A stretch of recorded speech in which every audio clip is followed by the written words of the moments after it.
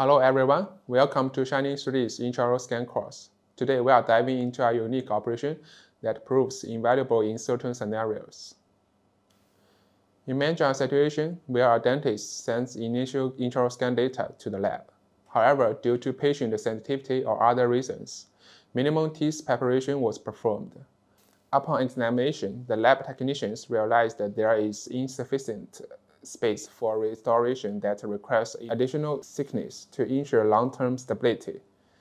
In such cases, the dentist typically needs the patient to return for further teeth preparation and a rescan. The add scan feature makes the process abreast and super efficient. Here's how you can perform uh, an add scan after completing the initial scan process.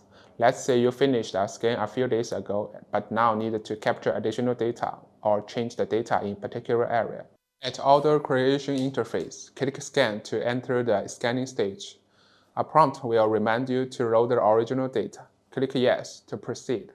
Pick up the scanner, click Scan, and a window will appear stating that for add scanning, data should be post-proceed and pre-designed again. Click Yes then press the button on the device. You will see a green camera frame on the interface.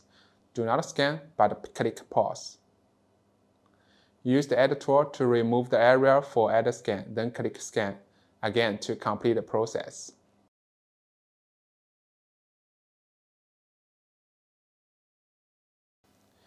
If there are significant changes in the Add scan mode, you may need to redo the BiScan due to alterations in occlusion.